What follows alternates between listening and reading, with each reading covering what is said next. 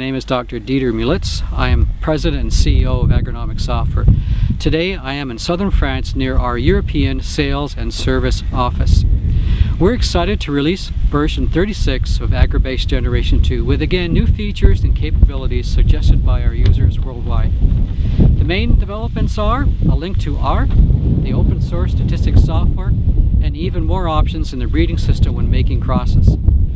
For our large corporate clients, there are now different data security levels for each user, but also per database for each user.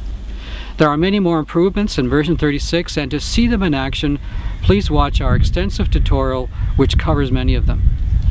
Our online tutorials for our clients are increasingly popular. There are now nearly 100 online tutorials covering much of AGROBASE Generation 2. From among our users in 40 countries, almost 700 users have created their own account with more signing up each week.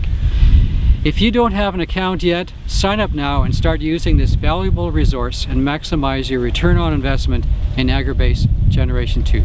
Thank you.